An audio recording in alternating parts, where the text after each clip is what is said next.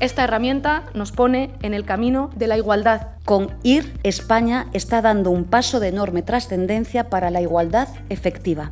Desde ayer, 14 de abril, la igualdad retributiva está más cerca. Efectividad y negociación, palabras claves que están detrás de esta herramienta. Y el conjunto de los agentes implicados, las empresas, los sindicatos, la Administración, mostramos así nuestra voluntad de aflorar la desigualdad existente en este ámbito y sobre todo nos dotamos de las herramientas que nos permitirán ponerle solución. Está posibilitando que las empresas actúen desde la calidad y el reconocimiento del talento como verdadero motor de la transformación social. Agradezco e invito a todos y a todas a seguir avanzando en la igualdad real paso a paso, convencidas de su importancia. Para que el trabajo sea un espacio digno, igualitario, tanto para las mujeres como para los hombres. Solo en común y como parte de esa larga historia de emancipación y lucha podremos salir de esta crisis y lograr la igualdad.